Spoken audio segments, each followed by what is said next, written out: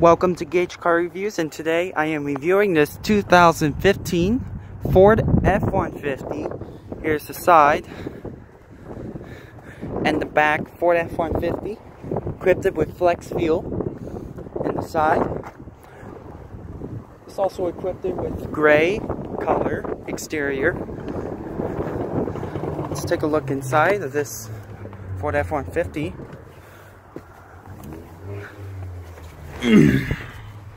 Here's the Ford F-150 steering wheel, with the PNRD transmission, radio, radio with the keypads and and features, controls, radio, AC, speedometer, fuel and temperature, controls for the steering wheel, PNRD transmission on there.